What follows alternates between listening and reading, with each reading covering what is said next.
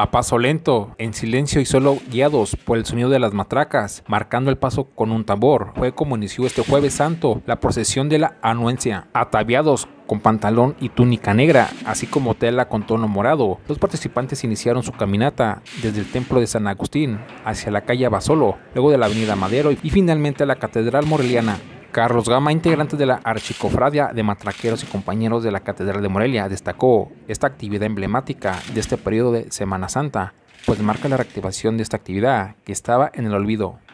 Que vamos a llevar a cabo eh, una procesión, eh, aunque es pequeña, es muy significativa, ya que eh, por medio de esta procesión estamos iniciando lo que es la muerte de las campanas en este jueves santo. Eh, este repique especial de campanas y este toque de matraca eh, se está retomando.